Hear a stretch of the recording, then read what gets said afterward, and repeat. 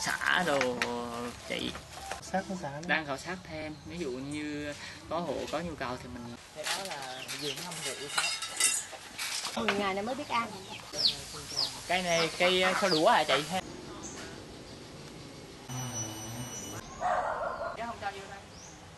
Này là anh đi làm mướn không à lên đây thì bác sĩ nói là là bị bị rối loạn đường tiêu hóa. đưa lên trên nhi đồng 2 là vô đó là bệnh viêm màng não.